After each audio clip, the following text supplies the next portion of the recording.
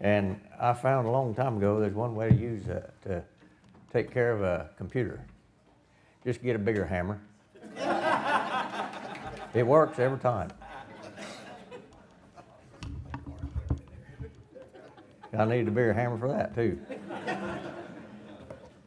well, I do want to thank Brother Jordan uh, for all the years I've been able to speak here. He's asked us to speak, and uh, we go back, I think, uh, to 1988. And uh, we started back down home then, and it was hot and dry that year. And uh, we was fortunate to have had a little bit of a rain and a lot of them only had 65 bushel corn, but right there we had 165. So uh, we've gone a little above that by now. But uh, a little bit about the reason I wasn't here yesterday until we got here. Uh, my aunt died, and uh, she was the second one in the last three weeks. And uh, she was 95, so it was not something that was unexpected. And I have three more aunts that are 95 on one side of the family or the other. So uh, it's going to happen again rather soon. So uh, I don't know. On, on, one of them, I do have the funeral for. So uh, we'll see how things go. But uh, yesterday morning, about this time, the funeral started, and they uh, undertaker called for the preacher to come up, and this lady starts walking up there. And uh, I thought, well, that'd be about right for what denomination it was. And uh, she was wearing a, I think she had a black skirt on and so forth, and polka dot top and everything. I thought, Happy Hippo has returned.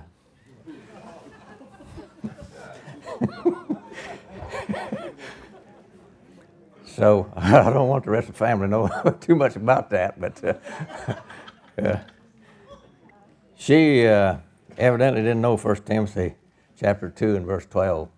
Uh, so uh, I thought if I'd had time, uh, we was going to go to the cemetery, but I decided let's get on going up Chicago. I'd rather be up there anyway.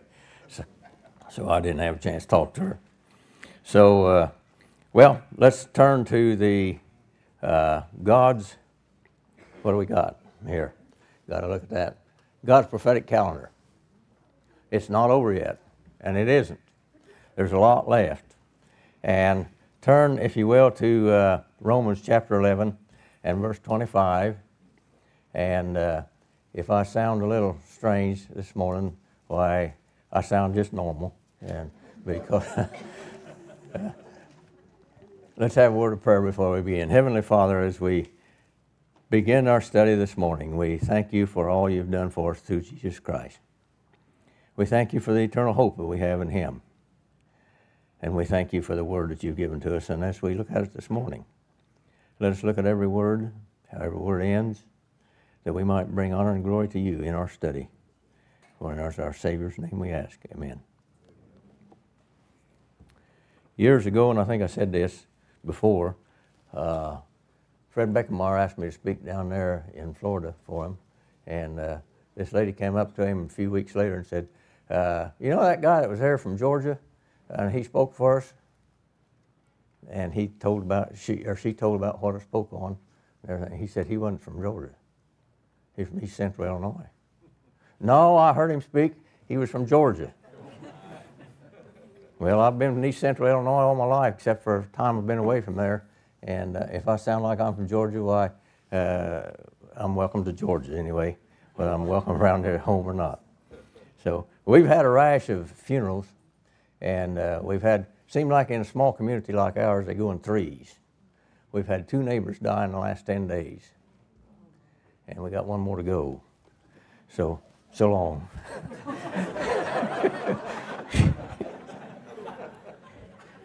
Romans chapter 11. Uh, before I go, I'm going to give you this. Romans chapter 11, verse 25. For I would not, brethren, that ye should be ignorant of this mystery. Now, when you study God's Word, you want to see what every word is and how each and every word ends. And I've said that over and over and over. and I've meant that every time I've said it. Is it past tense, present tense, future tense? Is it singular? Is it plural? And so on and so forth. And some of them have hit on that already, and I wasn't even here. So uh, maybe they're getting on to that too. Because it's very important whether we understand where God is talking about the future, the present, or the past. Is he talking about us or is he talking about somebody else? Now, as we got the chart up here, we see that the Gentiles pretty well stay on this line here. But the Jewish people come over here. Now, they understood this dispensational change. The Jewish people understood that dispensational change. Now, that's a, uh, well, it used to be a 50 cent word when I was a kid. Now it's a $5 word because of inflation. Uh, a dispensation is simply what God is dispensing. And that's what we need to keep in mind when we hear that word dispensation. The Apostle Paul uses it four times. And uh, we need to be very sure of what it says and explain it to so many other people because they don't understand what that means. Now, they understood that the uh, person of Abraham or Abram was called out back then. He was given some promises. They understood that dispensation, and they go along like this Israel was given the law, but they don't understand this dispensational change. Something happened here for God to offer His grace to everyone, and that's for you and for me. Now, let's see some of the things that happened for the nation of Israel. That's going to happen for the nation of Israel. Not right now. For I would not, brethren, that ye should be ignorant of this mystery. What's a mystery? Well, in God's Word, it's a secret that He kept from mankind, from everyone, until a certain point in time. Then He revealed it. So He's revealed that mystery. He says, I don't want you to be ignorant about this. Now, He said, I don't want you, He didn't say, I want you to be dumb. He says, I don't want you to be ignorant. What's the difference between dumb and ignorant? Well, dumb is like me, you can't figure it out. ignorant means that you can figure it out if it's shown to you and you can see it. Well, he didn't want the members of the body of Christ to be ignorant about this. He wanted them to understand what God was going to do, what he was about to do with the nation of Israel had they been obedient to him lest you should be wise in your own conceits. Now, you know what a conceited person is? About everybody understands what a conceited person is. Uh, did you ever go to school and have some girls in your class that were somewhat conceited? Yeah, well, we did too. Yeah, enough said there. That blindness in part has happened to Israel. Now, blindness in part is happened to Israel. They can't see the wall in front of them because they're blind. They don't understand those things because if you ever watch a person that's blind, if he don't have that dog with him, what's going to happen to him? He's probably going to get run over or something with a Mack truck or something. But he says blindness in part has happened to Israel. Not all of them have been blinded. The whole of the nation has not been blinded. And today, that's very true.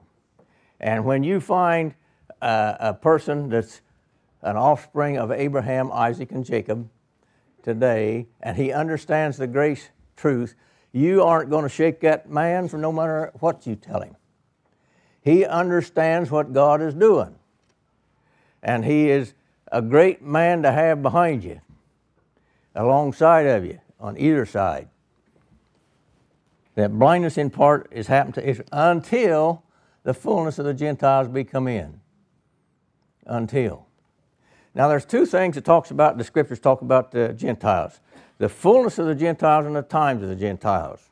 I'm going to leave it with you. I don't have time to spend on that this morning to uh, explain all the differences. But are they the same or are they different? If they were the same, God would use the same term, wouldn't He? Well, until the fullness of the Gentiles be come in. And so all Israel shall be saved. Now, many people think that that's every Jew that there is. All Israel shall be saved. Now, go back to uh, Romans chapter 9. Oh. Let's start with verse 4. The part that I want is the last part of verse 6. But we're going to look at this, and you may, the problem of being the last one or the speaker of the last day, you don't uh, have a, a verse that somebody else hadn't already used. Well, we're going to use it again. Who are Israelites? To whom pertaineth the adoption? And that was one of the things that Alan was talking about a while ago. And the glory, and the covenants, and the giving of the law, and the servants of God, and the promises, whose are the fathers, and of whom, as concerning the flesh, Christ came, who is over all God blessed forever. Amen.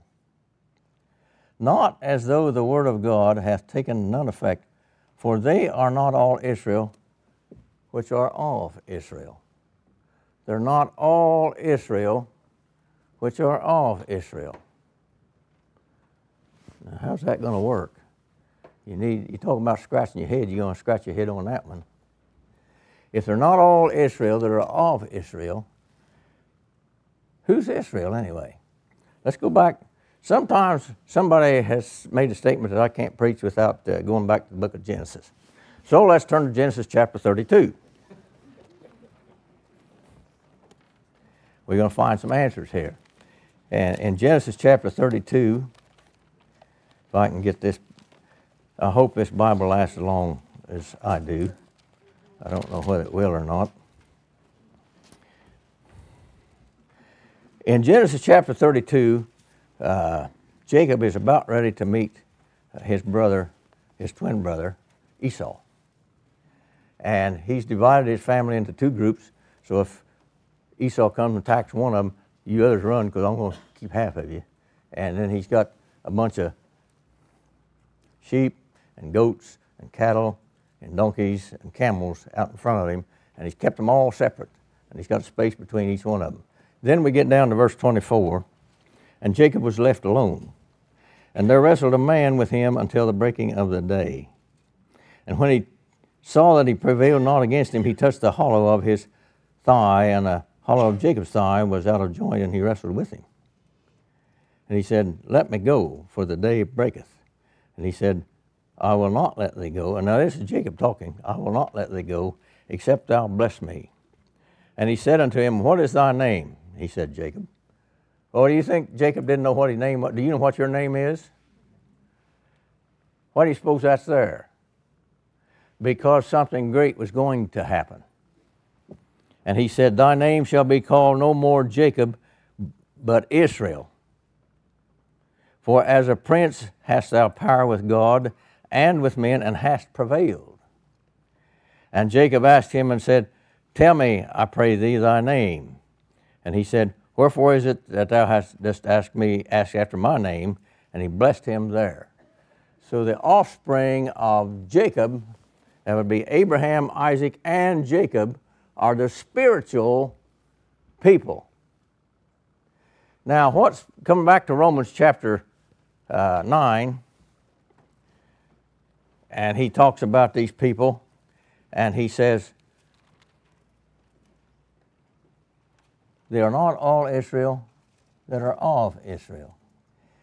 In other words, they're not all spiritual people that are of the offspring of the man named Israel.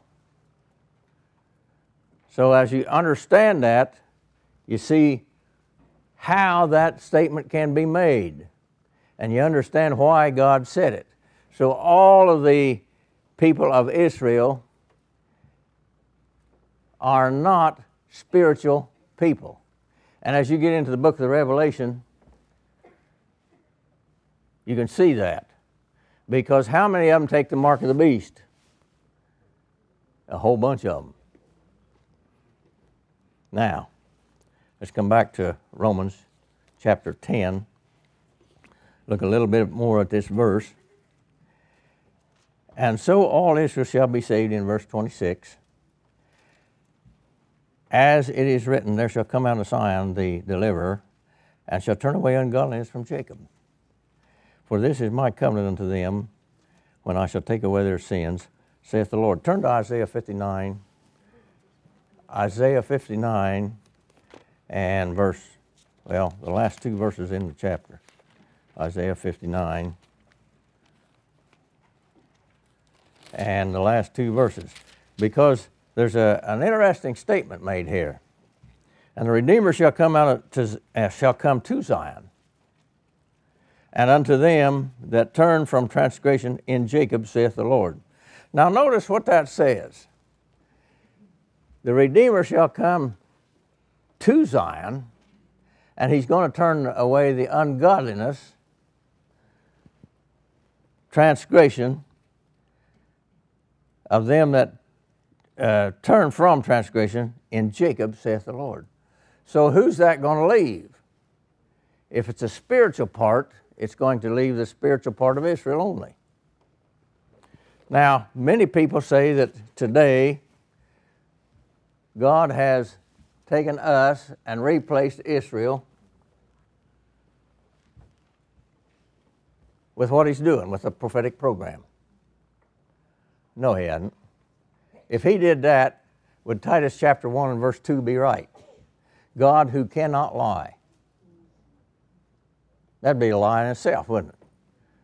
So, God, there's only been one place in Scripture where anybody ever replaced someone else. That's right here. And you know who he replaced? That's the Lord Jesus Christ took our sins and took the penalty for our sins, and we don't have to. We don't have to. Now, man has that choice. He can or he, he don't have to. And that's some of the things you've been hearing the last uh, day or so. But as we have this covenant with God, given to the nation of Israel, what is it that he says? Well, let's go back to, uh, oh, let's go back to Ezekiel chapter 31.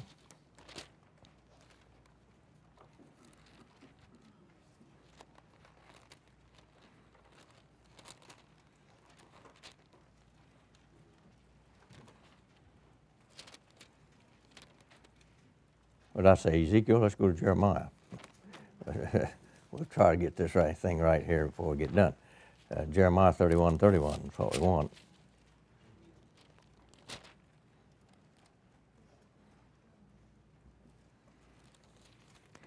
If I can get my pages to turn right. Behold, the days come, saith the Lord, that I will make a covenant with the house of Israel and with the house of Judah. Now, why is the two households?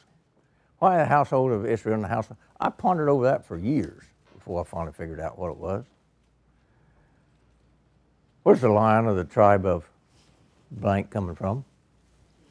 Judah. It was two nations, or two tribes that stayed true to God when the nation split, wasn't they? What were they? Benjamin, and who was the other one? Judah. Okay? So why does Judah need to be lined up right? When the Lord chose the 12 apostles, did he choose one from each of the 12 tribes? There's three sets of brothers, wasn't there? Well, that should tell you there's three tribes not even mentioned there. But did they all come from the same tribe? I don't know for sure but it couldn't have all come from each one of the tribes. So the tribes were not represented as a tribe in the 12. But the 12 are given responsibility over those 12 tribes. Well, look at here. Let's look at the rest of this here in uh, uh, Jeremiah 31. And they, the, God's going to make a new covenant with the house of Israel and with the house of Judah, not according to the covenant that I made with their fathers in the day that I took them by the hand to bring them out of the land of Egypt, which my covenant they break, although I wasn't husband unto them, saith the Lord. Now that answers a lot of questions right there. The Lord took them by the hand and he brought them across the Red Sea. But he says, I was a husband unto them. Now, who's the bride of Christ? Right there it says it's Israel. Because who did he bring across the Red Sea? The Gentiles? Yeah, he gave them a kind of a drowning, didn't he? Uh, they talk about baptism today. You got to either be sprinkled, splattered, dunked, or drowned, or half drowned, or whatever. And I've been all over that. Didn't do a lick of good for me. All it did was got me wet. And I can do that in the shower every day. And I need to, too. Because, uh, well, when you get out and you, what occupation is it that uh, God speaks of most in the scriptures? Farming. What did have Adam do? He had to go to farming, didn't he? Why? That's a result of what? A curse. So I'm a cursed farmer. we raise corn and soybeans, and Alan's got a few hogs for the boys, and well, they smell real good too. But as we see what it says when it says, By the sweat of thy face shalt thou eat all the days of thy life. It doesn't say sweat of your brow, it says sweat of your face. Anybody can have a few perspiration spots on your forehead. But if you go to sweating and it runs down your face, you've really been working. And if you don't think so, come down there and I'll put you behind a baler and we'll buck some bales for, uh, put, put you on there by yourself. Stack them four high in a tie and uh, we'll see what you're sweating like when you get done with that first load. Now you got 10 more loads out there. This covenant is not going to be like the one that I made with him to start with. What covenant is he talking about? He's talking about this covenant back here with Noah and with Abraham and with Moses. I'm not going to make a covenant like that one with Moses. Here's going to be the covenant. But this shall be the covenant that I will make with the house of Israel after those days, saith the Lord. I'll put my law in their inward parts and write it in their hearts, and will be their God, and they shall be my people. Where did he write this law back here with Moses?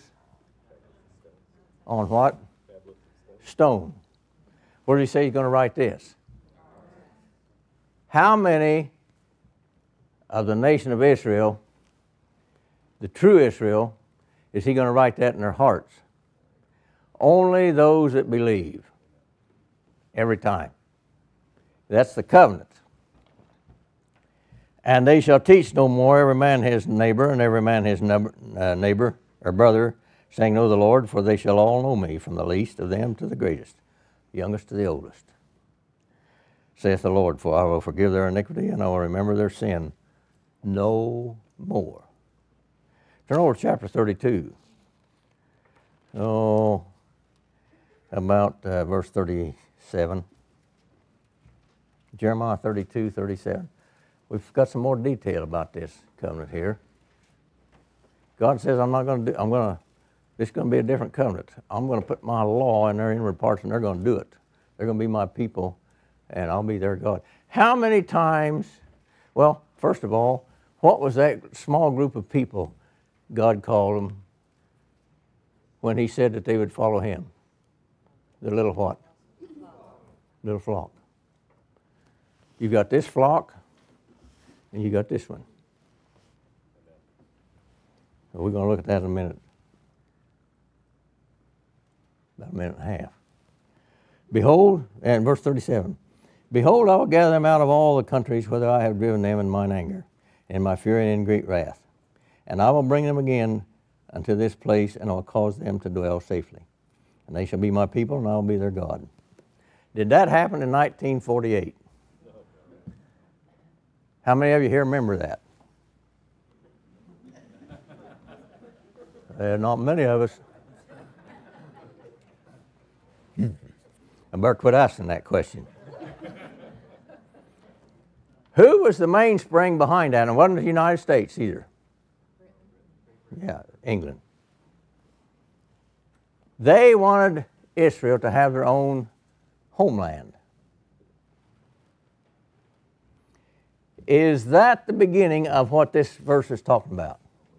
No, it is not. Don't ever confuse what man has done with what God is doing and has done. That's exactly what people is finding wrong, and how's come they're messing things up on this chart. I will give him one heart and one way. You remember we said that from the youngest to the oldest was going to be saved?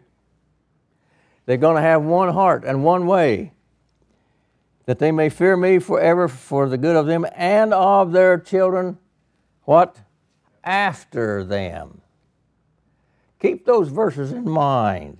And I will make an everlasting cut. Now, how long is this going to be? Everlasting. It's not going to be just for a little dab of time. It's not. Uh, they used to talk about Brylcreem. I think I used too much of it because I got nothing up there to put it on anymore. A little dab will do you, you know. Well, it done me. Now I'll make an everlasting covenant with them, and I will not turn away from them to do them good, but I shall put my fear in their hearts, and they shall not depart from me. Read the rest of it in your free time. But when you study the Word of God, read that verse and find where it belongs in its context. Come back to uh, Romans chapter 10. Now, we've looked at the first two verses here, or the first three verses what God's going to do, how He's going to turn away ungodliness from Jacob. And this is His covenant. It's His covenant. And you can find that again in Isaiah chapter 59 in the last two verses. As concerning the gospel, they are enemies for your sakes. Oh, well, that's not good, is it? They're enemies. Now, who's Paul writing to here? He's writing to the Romans. Aren't they Gentiles and members of the body of Christ? Yeah. So he says, they're enemies for your sakes. How many of you have had a, a Jewish friend come to you and tell you about the, God's plan of salvation today? I don't see one hand. Mine don't go up either, because it was a Gentile that told me about that. But as touching the election. They are beloved for the Father's sake. Now, those few that are never going to turn their back on God, that are members of the body of Christ, are part of the election. Who's the election? Who's those that are elected? That's those saved that God has a purpose for and a responsibility. And I've heard denominational preachers say that when I get to heaven, I'm going to find a tree and sit down under that tree and uh, uh, fish in a, in a river forever. I don't even want to go there if it's going to be like that. Well, he's not going to do it either because God has a responsibility did you ever see God give a man uh, anything without a responsibility that went with it? We don't have salvation just to be saved. Uh, years ago, there was a, what do you call that? Fire escape. A, a group of, in, a, in a college that, uh, what was they doing? They was escaping the flames of hell. And that's all that was talked about. Well, that's a start. But what about this? What about when we get down to here and we get up to here? Why aren't they finding out what's going on up there? You see, there's a purpose for everything that God has done. For as in time past have not believed God, yet now have obtained mercy through their unbelief. The Romans received God's plan of salvation why did God bring the Apostle Paul in here? Because the Gentiles didn't want to uh, turn to uh, Romans chapter 1, verse 28. This is talking about our forefathers. Every last one of us is here, unless you're a Jewish uh, person. in Romans chapter 1 and verse 28, and you can start in verse 18 and read all down through there and find everything that was wrong with them. And by the way, what do you call a teacher at the University of Illinois or any college or university? A professor? Look over in uh, verse 22. Professing themselves to be wise, they became fools. What do you got teaching over to colleges and universities? Fools. Look at verse 28. And even as they did not like to retain God in their knowledge, they didn't even want him in their mind. God gave them over to a reprobate mind. Now, do you know what a reprobate is? Does that word even sound good? It don't even sound good, does it? So you know what a reprobate is. And you go on down through there and read the rest of those verses to the end of the chapter, and it takes all of them to find out what a reprobate is. That's what every one of us came from. That's the same condition we were in before we were saved. What has changed since Romans chapter 1 for us? Right there's the only thing that's changed it. We have the grace of God being offered to us for salvation. Now, let's come back to uh, Romans chapter 11. For in verse 30, for as ye in time past have not believed God, yet have now obtained mercy through their unbelief. So, not only has the Gentiles quit believing, now these people have. What have they done? Well, we talk about the Gentiles being such idol worshippers. What had the nation of Israel, well, what had the offspring of Jacob done with the law? They'd made idols out of parts of it, hadn't they? What had happened to this bunch over here? They was worshiping what? idols. What was the difference? Just the thing that they was worshiping. And they didn't want to believe God except for a few of them. And what were they called? That little little flock. Now, we're going to spend a little bit of time here on this little flock. Go back to, uh, well, I, it took me a long time to decide which way to do this. Go back to Matthew chapter 15. Matthew 15. Now, as we go through the scriptures, uh, verse 21, by the way, Matthew 15, 21. Uh, as we said before, why does God use agriculture as a means to describe things so that people can understand it? Because that was the first thing He gave to whom? Adam. Okay? How many of you have ever, let's say, uh, raised 20 to 25 head of sheep or more? I'm the only one? When he was a kid. All right? Let's read this. Then Jesus went thence and departed into the coast of Tyre and Sidon. And behold, a woman of Canaan came out of the same coast and cried unto him, saying, have mercy on me, O Lord, thou son of David. My daughter is grievously vexed with the devil. Today, modernists would say she was demon possessed. But he answered her not a word. Wouldn't even talk to her. Why? She was a Gentile. And his disciples came and besought him, saying, Send her away, she cries after us. Why did he not talk to her? Because she was a Gentile. Well, let's see what else he says. But he answered and said, I am not sent but unto the lost sheep of the house of Israel. Now, you remember when we, back there where we looked at uh, in chapter 9 and verse 6 and said, All Israel is not of Israel? We see here that he says, he is not sent but unto the lost sheep of the house of Israel. Go to Luke chapter 16, uh, chapter 15. Luke chapter 15. And uh, the first verse. Luke 15, verse 1. Then drew near unto him all the publicans and sinners for to hear him. Oh boy, now we got a real bunch don't hear, don't we? And the Pharisees and scribes murmured, saying, This man receiveth sinners and eateth with them. Boy, he's about, you can't get much. If he was a snake, you could crawl under him. And he spake this parable unto them, saying, What's a parable?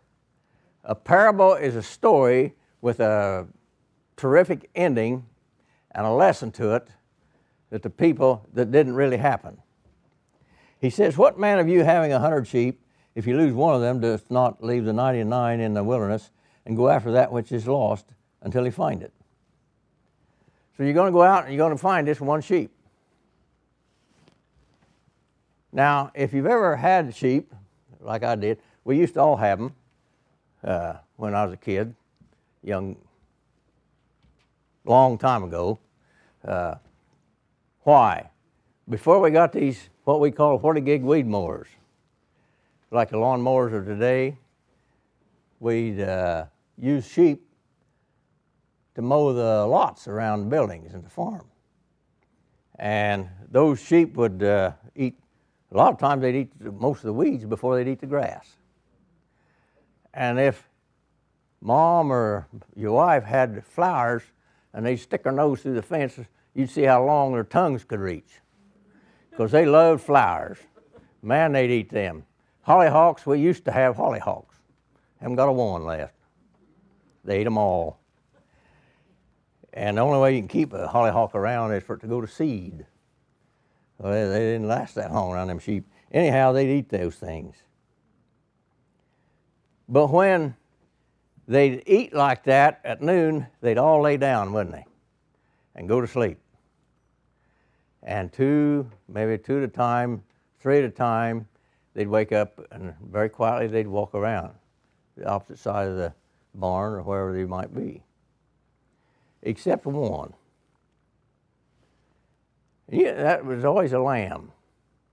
And that stupid thing would beller and bawl around there. You never heard such a pathetic cry come from a lamb.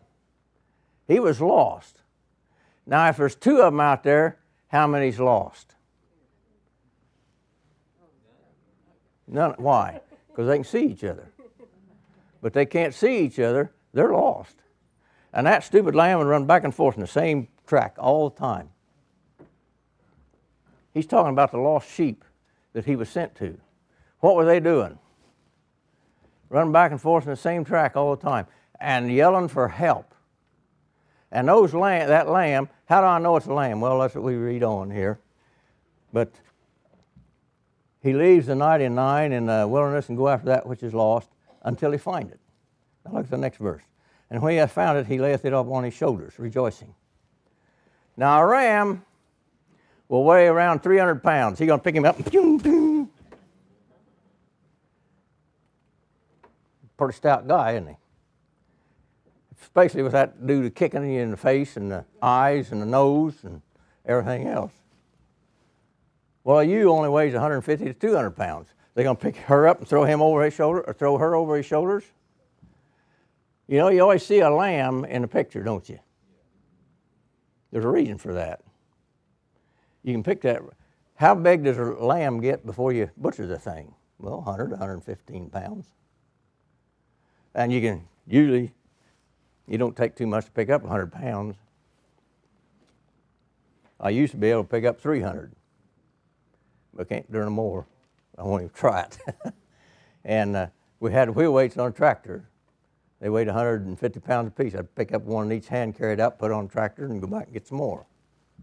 Can't do that anymore. But he says, And when he cometh home, he calls together his friends and neighbors, saying unto them, Rejoice with me, for I have found my sheep which was lost. And I say unto you that likewise joy shall be in heaven over one sinner that repenteth, more than over ninety and nine just persons which need no repentance. Now remember he's, who he's talking to. He's talking to the Pharisees and the scribes, isn't he? Did they need to repent in their mind? Did you ever see one repent? I know of one or two. But they were of the lost sheep of the house of Israel, weren't they? Nicodemus was one of them. And who was the other one? This man right here. But he was he was the lost sheep of the house of Israel? No, he brought in something totally different, didn't he? So, and look at that repentance there. When Israel was asked to repent and be baptized, what was it that they had to repent of? Each and every sin that they committed? What happens? They forgot one. That wasn't what they was to repent of. Nine times. That's that many. Have to make sure I fold that thumb around. Nine times Scripture mentions this sin that they was involved in. Has to do with this thing right here. They were stiff-necked.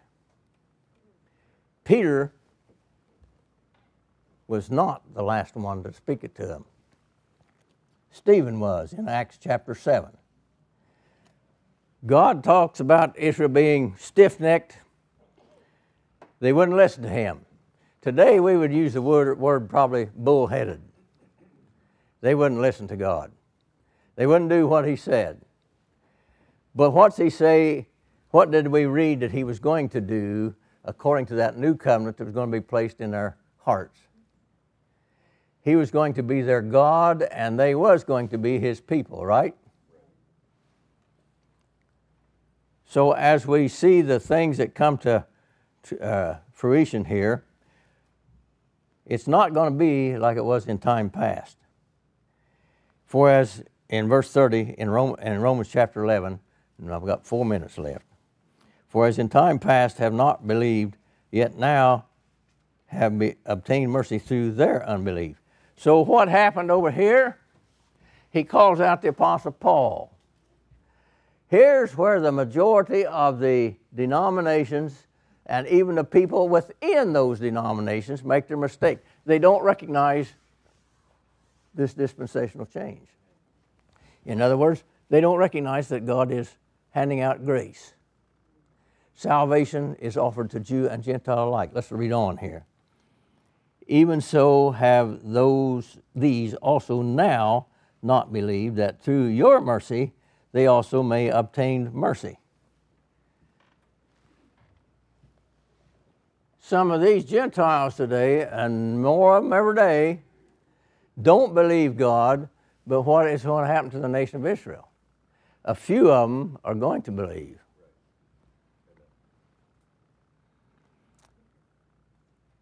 For God hath concluded them all in unbelief, that he might have mercy upon all.